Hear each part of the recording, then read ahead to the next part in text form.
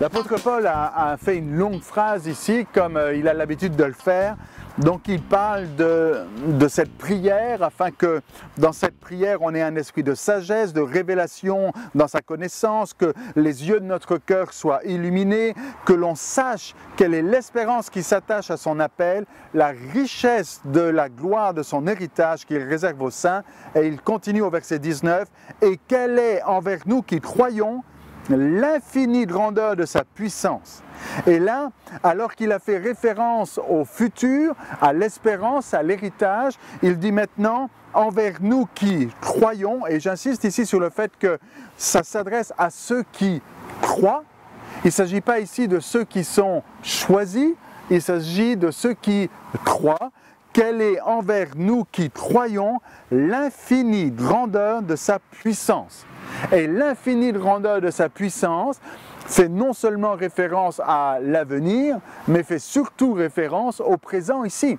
Fait référence au passé, ce qui a été accompli à la croix du Calvaire. Nous avons été bénis de toute bénédiction dans les lieux célestes en Jésus-Christ. Et il est important maintenant de saisir, de comprendre, de savoir, d'avoir cette révélation que les yeux de notre cœur soient illuminés, et eh bien pour euh, nous qui croyons, eh bien, euh, comprendre quelle est envers nous qui croyons l'infinie grandeur de sa puissance. Là, il y a trois mots qui sont des mots déjà très grands, puisqu'il est question d'infini, ça ne peut pas être plus grand. Il est question de grandeur, donc c'est une infinie grandeur. Donc ça fait quelque chose d'énorme, tout cela, et de sa puissance. Il s'agit donc de quelque chose de fort, de puissant, et bien qui se manifeste comment?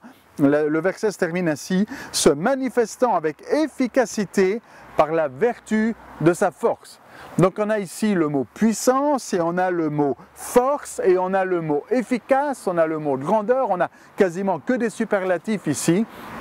L'apôtre Paul donc prie, il prie pour que l'on sache, pour que l'on connaisse, pour qu'on soit éclairé, que l'on comprenne l'espérance, l'héritage, la gloire à venir, mais qu'on comprenne qu'aujourd'hui encore, et dans le présent, et pour nous aujourd'hui, il y a en Dieu une efficacité, une force qui est une puissance qui se manifeste avec efficacité, c'est-à-dire qui produit quelque chose, eh bien aujourd'hui, réalisons ces choses. L'apôtre Paul prie euh, pour que les Éphésiens le comprennent et que nous aussi, nous puissions le comprendre aujourd'hui. Il y a une puissance efficace tout est possible à celui qui croit. Il est question de ceux qui croient ici. Eh bien, que dans la grandeur infinie de Dieu, dans, sa puissance qui est si grande, il y a quelque chose qui se manifeste maintenant, pas qui se manifestera, mais qui se manifeste maintenant avec efficacité en vertu de sa force. C'est en vertu de son amour que nous avons été sauvés et c'est en vertu de sa grandeur et de sa puissance que nous pouvons aujourd'hui recevoir miracle sur miracle, que nous pouvons recevoir une, réponse à notre prière.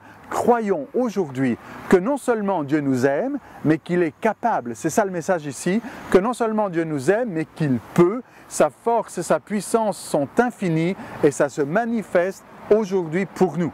Alors simplement, recevons cette parole pour nous aujourd'hui. Dieu peut. En vertu de sa force, ça se manifeste d'une manière efficace pour nous aujourd'hui.